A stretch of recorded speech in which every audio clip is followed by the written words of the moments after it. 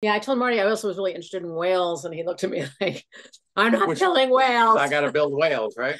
uh, the the only the only animal on on the planet that's uh that's bigger than uh, yeah. bigger than elephants. Maybe I'll, maybe I'll do my, I can do it.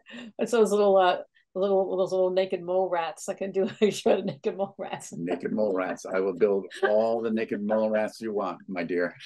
All that information and all that knowledge I got from teaching children on Sesame Street, coming together with all my theater background, uh, it, it, comes together really, I think, very strongly in Aanika's Elephants because it has it's a very theatrical. Yes. This is this is a real you know theatrical event, you know, in the sense of how it moves and jumps between time and you know literally she jumps between time. It's like this, you know, she turns her back, she turns, she becomes mm. another character. So uh, it's not something that could be, be anywhere, but really on the stage in this format, you know. Uh, please, please tell us where to go and when to go.